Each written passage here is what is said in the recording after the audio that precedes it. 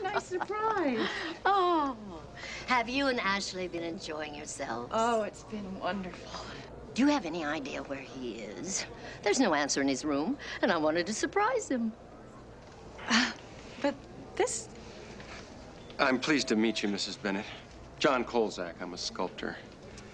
I pay my rent working as a bellman here in the hotel. Now, wait just a minute. Miss Dorothy, please, let me... Hello, Mother. Your timing is lousy as usual. I am Ashley Bennett. Have I been enjoying myself? You certainly have. Listen, Dorothy, please, let if me... If you'll excuse me, I have a date tomorrow with a 2,000 year old tomb.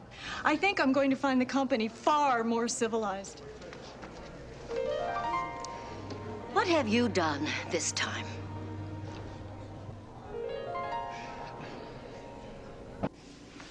Dorothy Mincer. This is John Kolzak. John, Dorothy. Now, you both can start all over again. By the way, this was Ashley's idea. He may be a boob, but he's also a hopeless romantic. Just like his mother.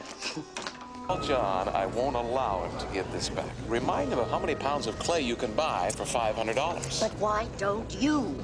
Yoo-hoo, Ashley.